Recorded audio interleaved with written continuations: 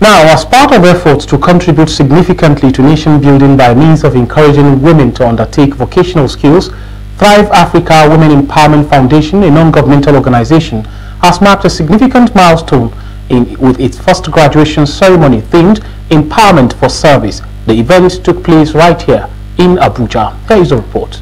The ceremony saw about 20 women graduate from the empowerment program equipped with skills and knowledge in fashion design, food processing and confectionaries, leadership and business management skills, and of course, a healthy dose of health and spiritual mentorship.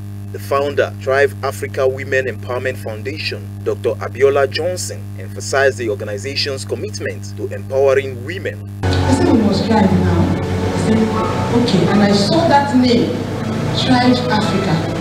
I picked it. I said we will use it. So we started registration. I just came here, picked three, two or three or four of them. I said, come, come, come, we are opening in an NGO. Come and be the director. We'll start from our own side. Later we'll get another director. We'll just sign here. They know themselves. The various guest speakers present at the event delivered inspiring messages to the beneficiaries. Women, we are the only natural persons that God has created with a multiplier power. There is power in you as a woman. I want to encourage you this morning that God loves you. He did not just love you, He has put something in you that you will be able to take care of those children that is given to you.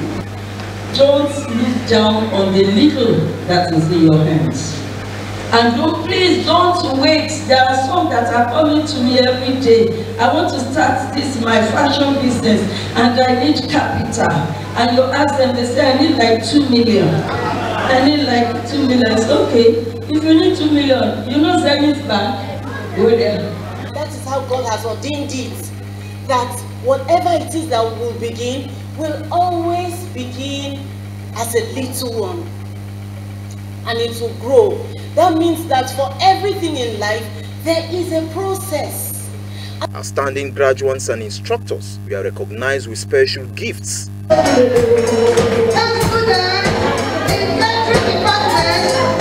Some of the beneficiaries of the program expressed their thoughts on the entire exercise. Really excited.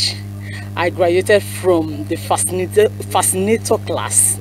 Wow, it was and indeed September 2024 to remember. This is my first, first time of witnessing this kind of empowerment program and it's a great privilege to, to teach people and to bring up people again for, for great success. The ceremony climaxed with the presentation of certificates of training to all graduates. Daniel Ubi, ASO